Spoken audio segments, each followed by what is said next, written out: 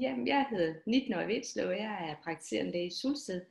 Og i det her sammenhæng, hvor vi skal snakke om, øh, om Zoom-møder, så er, var, er jeg øh, hvad hedder det, klyngekoordinator i Aalborg Klynge Nord. Altså, vi øh, skulle holde klyngemøde, og, og på grund af corona fandt vi ud af, at det var ikke nogen... Øh, det følte ikke alle sig helt trygge ved, sådan at mødes 30 mennesker i, øh, i et mødelokale.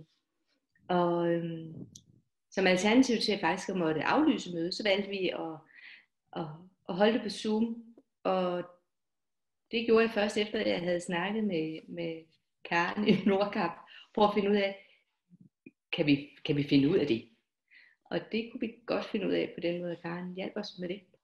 Vi fik hjælp til at lave selve øh, mødeindkaldelsen, og, øh, og vi holdt også en lille test, inden vi gik i gang med mødet, for ligesom at jeg kunne som mødeleder føle mig nogenlunde tryg, tryg i det. Men hvad synes du sådan fungerede det at have et virtuelt møde med, med, med klyngen? Jamen, jeg, jeg synes faktisk, det fungerede overraskende, overraskende godt.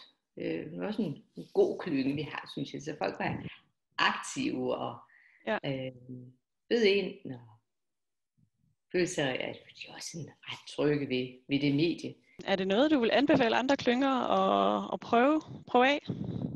Jamen, det vil jeg. Helt 100 procent. Det er jo, hvis alternativet er ikke at holde klyngemøder, så synes jeg, det er, så er det sådan her, vi må gøre. Så er det sådan her, vi må gøre til, til vi kan mødes igen.